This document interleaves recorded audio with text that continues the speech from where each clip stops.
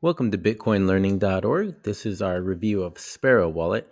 I actually already did one of these reviews, but I didn't feel it did it justice because I actually like this wallet here so much that, yeah, I should do a better review. So, with this, when you first log into the wallet, after you create your seed, when you first log in, I'll show you right here, new wallet, you create a wallet name, anything you want just for your records.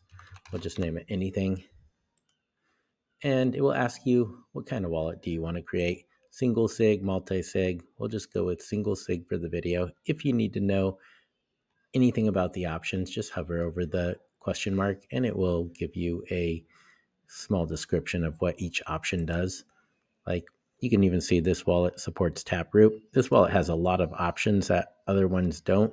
Makes it a little more complex for the average user but if you just look through the options it's pretty simple to understand and learn how to use. Then you would just create new seed and then create a new seed word here. You can do a 24 word seed phrase. You would click that, click generate new seed. You would write this down with a pen and paper. You don't want to store a seed phrase on your computer because you can use those seed phrases to restore your wallet should something happen to your device. And if somebody else gets access to your seed phrase, they can restore your wallet for you and steal your funds. So never keep your seed phrase anywhere it could be compromised. Pen and paper inside of a safe or somewhere away from other eyes is a perfect place. So once you do that, you'll just confirm the backup. It'll have you confirm you actually wrote down the words. And then from there, you will be logged in to the wallet. This is the one I didn't, this is the one I created just before this video. And once you're in the wallet, you can see you can export the wallet to import it into another wallet software like um, Electrum, for example, or yeah, Specter wallet. But yeah, TXOs, this will be where all your transactions are, your unspent transaction outputs with their your address, the dates, labels, value, which will be your balance, if you go to addresses, you'll see a list of all your available addresses that you can use, give out to people so they can send Bitcoin to you. If you click receive, it's the same thing, but more like an invoice format where you can actually fill in the label thing here, call it anything you want. And as you can see, it will always take from the first address here and it will just append a label to it for your records.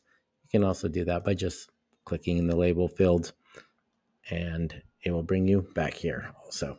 To send a Bitcoin transaction, you simply click send and then paste in the Bitcoin address you want to send a payment to. And here you can customize the fee. You can make the fee lower. If it's low priority, it'll take a little longer to send.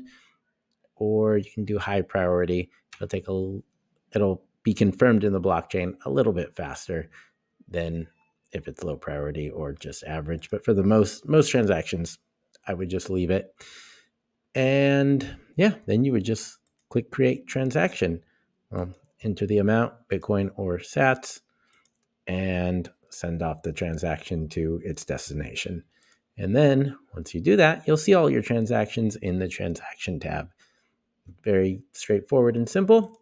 If we go into the wallet preferences, we can see you can set the block explorer, you can set the currency, you can set the exchange rate source.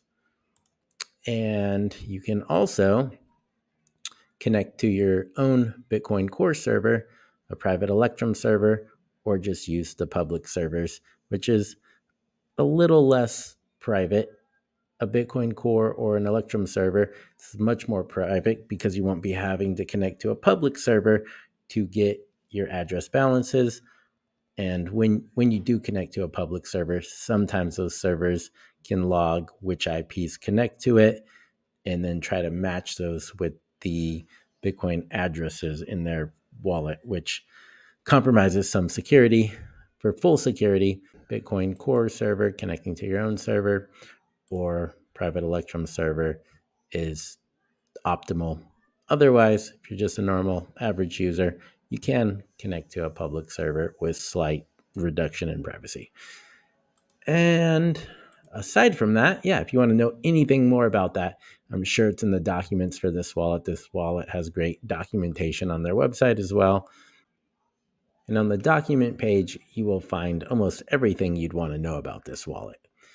If you go to the download page, you can see this wallet is for most operating systems. We have Windows, Linux, Mac OS, so any desktop type wallet, it will install perfectly fine as any other application.